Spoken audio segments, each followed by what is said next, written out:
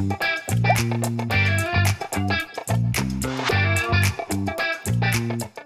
morning, good afternoon, and good evening po sa lahat ng audience po natin ngayon.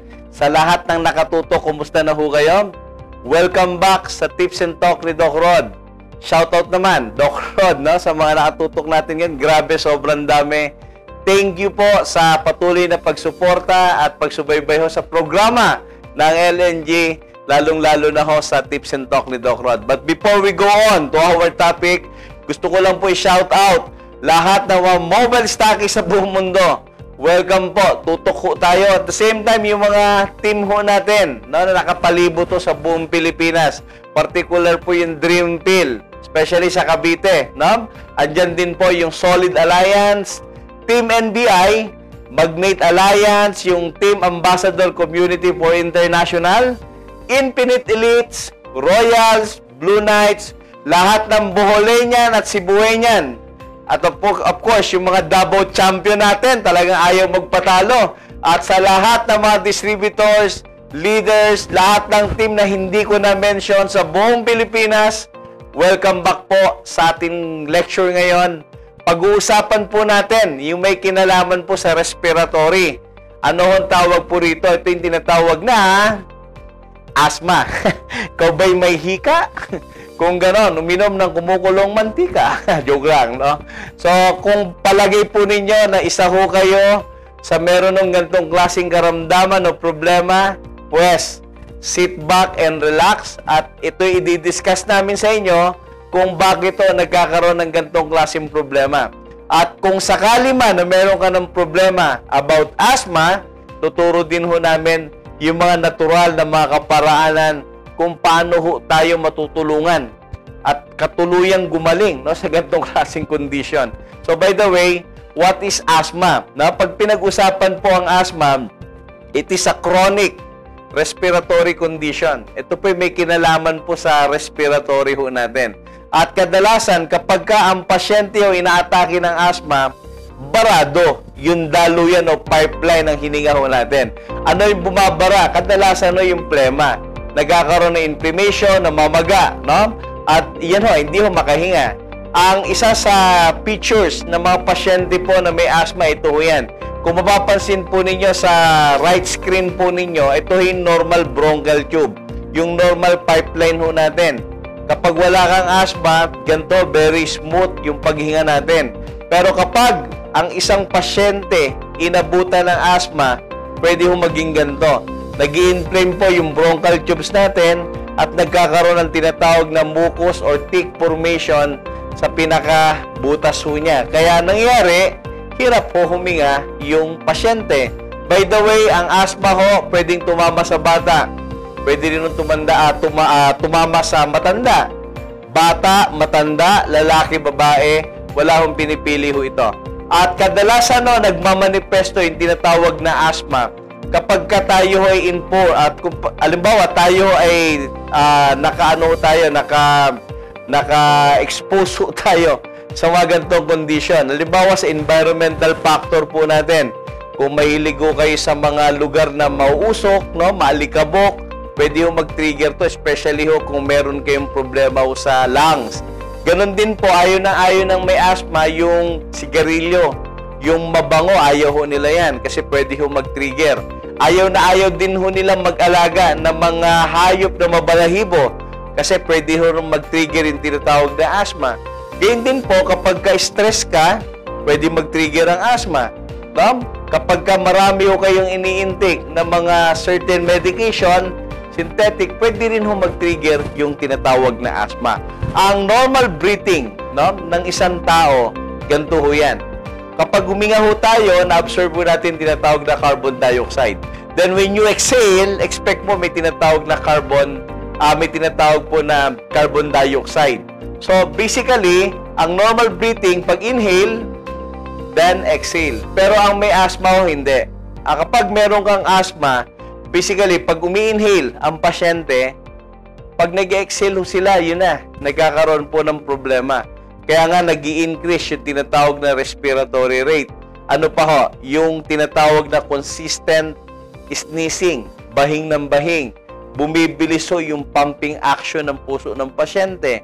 Nagkakaroon ng tightness sa chest na para kang dinadaganan po ng piano. At yung madalas na pag-ubo na may kasamang plema na ubod ng lapot. Kaya ang ilan sa mga certain medication na ginagamit po nila, eto ho, gumagamit po sila ng mga sprayed nebulizer. Pero ano ba ang ilan sa mga conditions o yung symptoms na meron kang tinatawag po na asthma? Kapag napapansin po ninyo na mabigat ang ulo mo o kaya meron kang tinatawag na anxiety, depression, nahihirapan kang huminga, no? nahihirapan kang lumunok, and so on so forth. Ilan po sa mga sign and symptoms po rito. Ngayon, paano mo madidetect na yung kasalukuyang condition mo eh asthma? Meron ng tinatawag na uh, mga barometro na ginagamit para ma-detect natin kung tayo ay may asthma o wala. So, isa dyan yung tinatawag na spirometry, no? Spirometry, no? Spirometry is the preferred method of measuring airflow, limitation, and reversibility to establish a diagnosis asthma. So, kadalasan inihipan po ito, inuubuan. Ngayon, no, makikita ho yung tinatawag na degree o bilang kung saan, kung aabot ho kayo doon, chances are pwede tayo may tinatawag na asthma. Isa pa po dyan yung tinatawag na FEB1, no? Na kung saan it is an administration, it is an after administration of a bronchodilator no? that indicate reversible airflow limitation consistent with asthma. Ilan lamang po ito sa mga measurement na ginagamit para ma-diagnose po kung asthma ho talaga yung condition po ninyo. So basically, kapag na-diagnose na may asthma ho tayo, there are some certain medication na ibinibigay ho sa pasyente. Andyan po yung mga bronchodilators, yung mga tinatawag po na biologic response modifier, leukotriene receptor, no? tsaka yung tinatawag na methylxanthine. So, ito po yung kadalasan na ibinibigay bukod po sa mga epinapril, so on so forth. So, kapag binigyan nyo kayo nito, doesn't mean ginagamot to yung asthma ninyo. Hindi ho. This is just uh, suppression. Kapag ka inatake ka, in order to suppress, kailangan mo mag-intake po ng tinatawag na inhale corticosteroids. Ano po ba yung tinatawag na inhale uh, corticosteroid? From the word steroid, mga anti-inflammatory ho dito. Yung tinatawag na systemic corticosteroid para hindi ho uh, tawag rito magmanifest sa buong respiratory system po natin leukotriene modifier, sodium uh, chromoglycate. So kadalasan ginagamit po ito sa mga sprayed nebulizer ho natin. This controller medication, may mga certain ano po yan, condition or side effect na tinatawag. So when we say uh, yung inhaled corticosteroid, um, function po nito or benefit, it reduce the swelling. No, yung paninikip, yung pamamaga po ng ating bronchial tubes. May tinatawag din na laba hindi ho ito galing sa bulkan, ano? Ang LABA, ibig sabihin, long-acting beta agonist. It open up the airways and reduce inflammation. Yung leukotriene naman, for relieving, no? Para ma-relieve po yung asthma. Huminto yung pag tinatawag po na pag-atake. So, with, regard to conventional treatment, according to Dr. John Mills, that he is a chief infectious diseases of San Francisco, General, sabi niya, the conventional drugs used for treating asthma, particularly steroids, but it can impair the immune function and lead to more serious health problems. So napakarami yung mga condition na pwede yung mag-effect kapag tayo naging uh, regular user po ng mga gantong klaseng suppression. No? Kadalasan, ang ilan sa mga impact po niyan, bakit dumadami ho yung mga car accident, eh kapag chinek ko yung background, kung ano yung mga medication na ini-intake, ilan po sa mga existing na mga gamot na nabanggit ko kanina, ang tinitake kasi nagkukos po ito ng dizziness. Inaantok ko yung pasyente. Kaya pag inaantok ka, nagdadrive ka, eh malaki ang tendency na ma-aksidente ho tayo. Then, pag-usapan natin, Doc, meron bang mga alternative alternatibong paraan para ma-diagnose po o matreat, matreat ho natin yung tinatawag po na asthma. Of course, meron po. Una sa lahat, yung pag-iwas. Saan? Yung pag-iwas sa mga klase ng pagkain na pwede hong mag-contribute sa tinatawag po na asthma. Kasi ito ho yung mali sa iba. Sangkaterba yung nebulizer, sangkaterba po yung kinakargang gamot sa pasyente, pero hindi naman umiiwas sa mga pagkain na pwede mag-trigger yung asthma. So instead na nakakatulong, lalo nagiging worse ang kondisyon ng pasyente. Kaya kung meron man ho isa sa inyo o yung mga nakatutok ho ngayon na meron ng gantong klaseng problema, dapat ho kasabay ng medication, dapat ina-address din po ninyo yung mga pagkain na ipinapasok sa loob ng katawan ng pasyente. Andyan po yung mga dairy food, eggs, milk, peanut, soy, no? wheat fish, shrimp and other shellfish, peanuts, corn, at yung mga pagkain po na may mga preservative, additive, coloring, no? yung MSG, nako, grabe ho yan. Dapat to iwasan ho ninyo. No? And of course, merong tinatawag na option. Sabi nga, piliin mo yung tama para mabuhay ka ng mahaba. Andito yung tinatawag po na uh, pagkain na natu- nakakatulong po para matunaw po yung plema natin. At meron din naman mga pagkain po rito na pag inintake ho ninyo, automatic ko, nagko-contribute po yan, particular to mga to, nagko-contribute po sa mga uh, formation ho ng plema sa katawan ho natin. Kaya lang problema ho natin kasi ngayon, education with regards to nutrition. Kasi nga, ang bata, bigyan po ninyo ng tinatawag na kalamansi, tsaka ice cream. Ang choice ng bata ho, ice cream. No? Di baling may asthma di baling mamatay basta sa sarap. Mga ganun approach. So ano pa ho? Meron na tayong tinatawag na garlic and onion combined with mustard. Ilan sa mga herbal medicine na nagtataglay po na antibiotic. Garlic, andyan po yung tinatawag po na allicin. Yung sibuyas, andyan po yung tinatawag na quercetin. So meaning, itong mga bagay na to, nagko-contribute po ito para ma-prevent yung manifestation o pagdami po ng bakterya sa ating katawan. Kasi tandaan ninyo, ang pasyenteng may asthma nagkakaroon ng mucus formation. Plema ho yan. Kapag ang plema kulay berde, kulay dilaw, eh, bakterya siya. Pero kapag ang plema, sipon mo, parang tubig siya, tulo ng tulo, eh, virus po yan. Ano pa ho ang dapat nating introduce? Yung raw milk. Pag sinabing raw milk po, yung pag-inom ng gatas po na sariwa o raw, hindi ho nag-undergo ng fertility, ah, hindi ho nag-undergo po ng tinatawag na distillation. Hindi siya na process. Ano po yung honeybee, nandyan ho yan, napaka-effective po niyan. Ilan sa mga natural medicine na pwede ho i-introduce sa mga kababayan po natin na may asthma. So, ang raw milk na tinatawag yung cultured, as much as possible ho, hindi siya ipinoprocess kasi nga, namamatay ho yung tinatawag na good bacteria. Ang nare-retain, eh, bad bacteria. Ngayon, kung wala naman ako yung mapagkuhanan ng tinatawag po ng raw milk, we strongly suggest, pakbakin nyo na lang po to, yung tinatawag na premium resveratrol juice natin. Ano ba meron sa tinatawag na premium resveratrol juice? Ang premium resveratrol juice po, kagandahan po nito, nakakatulong. First of all, pampababa ng blood pressure, meron po siyang positive effect sa blood patch condition po natin. Kaya nagpapababa ng cholesterol, no? And of course, it lengthen the lifespan of certain animals. So, may mga ano po rito, may mga component po rito na talagang nagpapahaba no, ng buhay. Ano ho yung mga component po ng tinatawag po na premium resveratrol juice po natin? Ito ho yan. Rose hips, acerola, no, kilalang kilala ho natin yan na pangkaraniwa, tawag dito, uh, ilan sa mga herbal medicine po na nagtataglay ng vitamin C. No? This kind of supplement help to boost our immunity. No? Ang kagandahan po nito, since na-boost ang immunity ho natin, meron pa siyang tinatawag na cinnamon. Ang cinnamon ho, combined with honey, eh napiprevent po yung pag-atake po ng asthma. And ano pa ho, yung grapes, no? Ang grapes ho, mataas ang tinatawag na resveratrol. Ang resveratrol po tumutulong for anti-inflammatory, anti-cancer, and vasodilator din po siya. Ano ibig sabihin po nun? Nagpapaluwag po ng ating mga ugat, nagpapatibay din po siya ng ating mga ugat.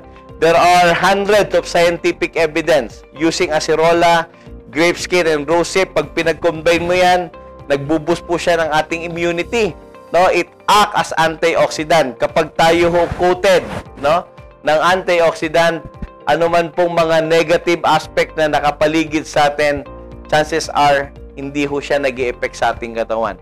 And kung may menstruation, of course, nakatulong din po yan, especially kapag in pain, osteoarthritis, so on so forth. So, ang dami hong benefits. Dagdag pa po ninyo yung tinatawag na winter melon milk tea ho natin. Ang winter ang pasyente po na meron tinatawag na asthma, may hinawang katawan kasi respiratory yan eh. Ngayon, para ho mag-boost po yung tinatawag na sigla at lakas ng katawan ng pasyente, we suggest bigyan ho ninyo yung tinatawag na milk tea. No, yung winter melon natin, particular sa mga bata. Ang batang may asthma, mahina ho ang katawan. So, paano mo ibuboost ang kalakasan ng katawan ng bata? Bigyan ho ninyo ng milk tea. No? Much better, pwede yung itimpla ho yan sa medyo lukewarm para ho talagang pakinabangan ng bata yung produkto.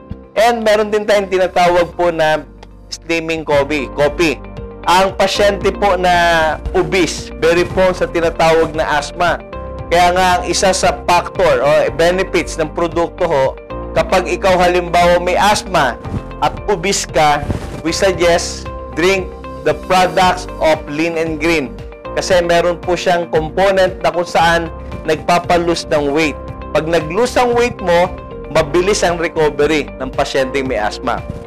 Ilan sa mga sakit na pwedeng matulungan po ng product po natin, particular ng coffee, yung pagkakaroon ng cancer, sakit sa puso, kasi the product composed of alkaline. Pag sinabing alkaline po, nakakatulong po ito para protectionan yung ating cells, yung ating tissue. Di ba ho? And of course, meron pa po tayong tinatawag na happy pads. Dok, ano kinalaman ng happy pads po sa pagpapagaling ng asthma? Since meron nung tinatawag na negative ion and graphene, those strips na nasa tinatawag po na uh, pads natin, pwede ho ninyo i-pull out yan. Pwede nyo ilagay sa bottled water, shake po ninyo, the whole day, refill lang ng refill pag naubos yung water po, at yun ang i-intake. Ang benefits po nito, Nakakatulong po ito para palakasin po yung ating respiratory. Ano ang nakakatulong po sa tinatawag na strips ng, ng ano natin, happy pad? Yung negative ion. So, negative ion po, powerful na yan eh. Ngayon, para ma-recharge yung tinatawag po na negative ion, mas lalo po siyang lumakas at painabangan ng ating katawan, naglagay po tayo ng tinatawag na graphene. So, ano pa ho?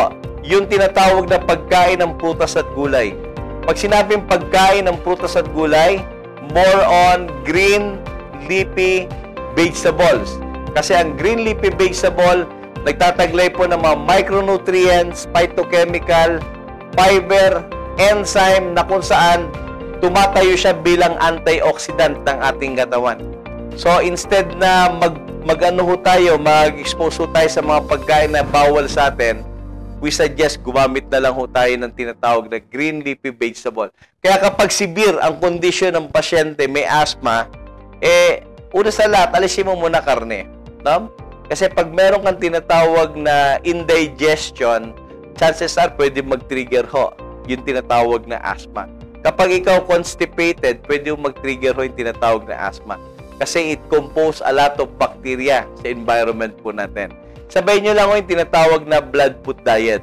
Pag sabing blood food, uh, blood food diet, it depends on your blood type. Kung ano blood type po ninyo, may mga series po tayo na seminar before na kung saan in-educate ho namin kayo kung ano yung mga pagkain na pwede hong mag-contribute o mag-benefits po sa kalusugan ho natin, especially kung meron no tayong gantong klaseng karamdaman. And of course, yung tinatawag na nutrition. So, nutrition can help It is a big factor sa mga may hina ang katawan, sa mga bagsak po yung immunity, sa mga taong may asthma, respiratory problem. Pag sinabing respiratory problem, napakarami ho niyan. COPD, pneumonia, tuberculosis, asthma, allergic rhinitis. Ilan sa mga common concern po yan sa mga respiratory. At yan ay may kokorek sa pamagitan ng pagkain ng prutas at gulay na napakayaman po sa vitamin B9, no? mayaman po sa tinatawag po na vitamin C, vitamin E, magnesium, ilan sa mga common yan, sa mga B-complex, particular sa B5, prebiotics na kailangan po ng mga bakterya sa ating katawan, because it act as a food, no? Sa ating katawan. So, hindi lang ho numahanggan sa tamang nutrition yung pagre-resolve po natin sa gantong klaseng problema. Importante din po na merong tinatawag na physical manipulation. When we say physical manipulation, kasama po dyan yung tinatawag na uh, yung tinatawag po na acupuncture. Acupuncture can help and stimulate the respiratory concern. Kasi nga ho, may mga imbalances. Ang asthma po is a chronic diseases. It is a part of autoimmune infection na kung saan inaatake po ng ating immunity yung atin pong respiratory system. Kaya ho nagkakaroon ng asthma. So ang isa sa pinakamahusay na paraan para ho matulungan yung mga ganitong condition, they use acupuncture. Ngayon, paano mo malalaman yung condition mo kung healthy ka o may sakit ka? Meron ng tinatawag na Buteco Institute. Pag sinabing Buteco Institute, isang institution yan. Isa, isang training institution na kung saan tinitrain po yung mga may respiratory problem, particular sa asthma, kung paano i-manage yung breathing pattern. Di ba? Kasi pag may asthma, hirap na huminga. Wala na kung walang training ko yan. Dito ay tinuturo. Hindi ho butike, no? Kasi akala lang butike ang binibigay. Butiko ho is a training institution. So, paano namin malalaman, Dok, kung healthy kami o hindi? Meron ng tinatawag na exercises. When we say exercises, kayo ho ang kayo ho yung ano rito, yung gagawa nito. Pag sinabing exercises, this is a Buteco breathing method. Nakaupo ka, take a deep breath, inhale, exhale. Kapag okay ka na, take a deep breath, then hawakan po yung dulo ng ilong to suppress yung paglabas ng hangin. Intact po yan. Then, sakaw ninyo orasan. Dahil kapag hindi na o kaya, bitaw na. Kasi baka nangingitim ka na, eh ayaw mo pa bumitaw, no? So bitaw na pag hindi na kaya. Then meron ng guidelines. Kapag ang breathing po natin is less than 10 seconds bumitaw ka, meron kang serious problem. Kapag ka less than 25 seconds yung breathing pattern natin, eh kailangan po natin ng attention sa ating kalusugan. 30 to 40 satisfactory, 60 seconds onward. Ayan, ibig sabihin, maganda ho yung tinatawag na respiratory concern natin. Ngayon, kung kayo ho ma-diagnose na meron tinatawag na asthma, in natural medicine po, meron ng tinatawag na acupressure. Acupressure can help para ho ma-stop o ma-suppress natin yung pag-atake po ng asthma. Ang ilan sa mga vital points po dyan, yung tinatawag na LI4. Ang LI4 po, ibig sabihin large intestine 4, na kung saan natutulungan pong masuppress, makontrol yung pag-atake po ng asthma. Paano ginagawa ho yan? Pinipiga lang ho yan o pinipisi lang sa magkabilang uh, sa gitna po ng ating hinlalaki at ng atin pong uh, hintuturo. No? Ipipress nyo lang po yan for 30 to 60 seconds, then presto. Ano pa ho yung vital points? Ito pa ho, yung pinakamatumbok na parte po na sa pagitan po ng ating thumb. No? Yung pinakamatambok dyan, sino, pinipress din po yan. Ang benefits po nito, nare-relieve. Chest pain, pag-atake ng asthma, so on so forth. Ito pa ho, yung tinatawag na Heart 7. Pinipress din po ito para sa ganun ma-prevent po yung pag-atake rin ng asthma. Pati ho yung pang pamamaga ng throat ho natin. Even yung mga palpitation, yung rapid heart rate, no? Nasusuppress po yan, napapanormal. And of course, meron pa tayong pericardium 6. Kapag ang pasyente hirap, pinipress din po yan. Plus yung karagdagan po, yung tinatawag po na uh, lung 7 ho natin, na pinipress ho yan dito. Kung saan ho tinutulungan po nito yung regulation po ng breathing pattern po natin. Hindi ho na choke yung pasyente. Hindi ho napupultulan ng hininga ang pasyente. Pinipress lang po rito. Pati particular po sa talampakan natin. Yung liver tree, pinipress din po yan kapag ka halimbawa nag-unconscious o kaya halimbawa tumaas yung sugar, in pain ng pasyente, nahihirapang huminga, pinipress lang po yan. At karagdagan po dyan yung tinatawag na kidney 1 at yung tinatawag na stomach 36. Importante din po yung tinatawag na frequent water intake sa mga kababayan natin o pasyente po nating may asthma. Dapat to hydrated. Kasi ang isa sa common reason bakit to tayo inaatake ng asthma kasi dehydrated po yung lungs. Make sure and see to it na hydrated ho lagi yung anak ninyo. Alisin nyo muna yung gatas, yung soda, yung kape na mga ordinary. Hindi nakakatulong yan kasi nakaka-dehydrate po yan. Ngayon po meron nung tinatawag na inflammation, no? O kaya plema, no? Phlegm congestion, I suggest do the uh, yung tinatawag po na steam vapor inhalation.